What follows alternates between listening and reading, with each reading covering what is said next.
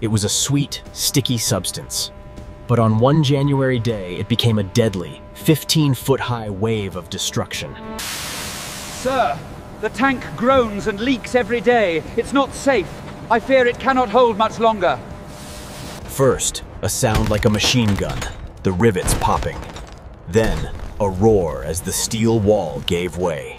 A 25-foot-high wave of molasses, moving at 35 miles per hour. It was not a flood. It was a tsunami. No! The horses! They're trapped! There's no escape from this! This river of syrup!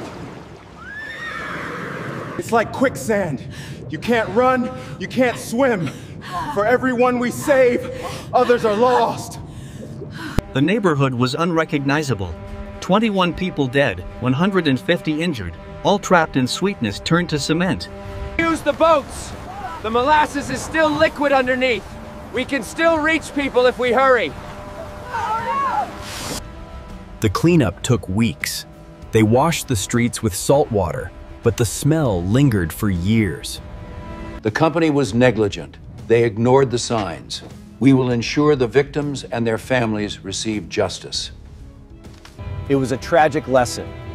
This disaster led to new, strict laws for engineering and construction across America.